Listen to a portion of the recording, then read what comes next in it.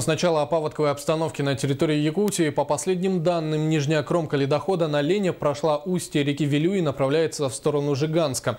За сутки ледоход продвинулся на 85 километров. Верхняя кромка находится у села Булус Намского района. Со всеми подробностями Виталий Абрамов.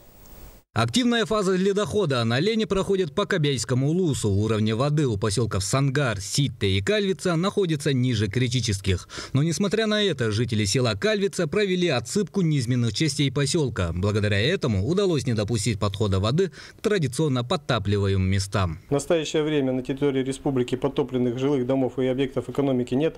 Населенным пунктом Арбын Намского района остаются подтоплены 23 э, дворовые территории. Отмечается спад уровня воды.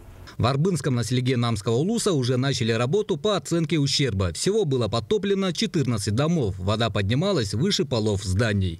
Исходя из нормы по 5 тысяч рублей на каждого члена семьи, это единовременная материальная помощь. А также предусматривается помощь за утрату имущества, это частичная утрата имущества 10 тысяч рублей, э, за полную утрату имущества 20 э, тысяч рублей. Также продолжаются взрывные работы по устранению ледовых полей, из-за которых образуются заторы. За последние сутки израсходовано около трех тонн взрывчатки. Попутно с этим группа КЧС республики помогает эвакуировать непутевых охотников, застрявших на островах. Этого гражданина спасли из пятачка около села Тюбя Намского Улуса. Благо была сотовая связь, и он смог дозвониться до спасателей. Утром попытались на, на моторной лодке подплыть, не смогли. Лед стоит сплошняком. Для посадки вертолета уже не осталось места, и поэтому было решено спуститься на Суре. Там метров 15-20 высота всего была. Это очень плохо, что они так рискуют. Потому что ну, нельзя, ледоход. У нас река непредсказуемая, Лена огромная. Нрав у нее, как говорится, своенравный, точнее, скажем так. Она может в любой момент подбросить на 3-4 метра уровень, и все, и он бы погиб сейчас там.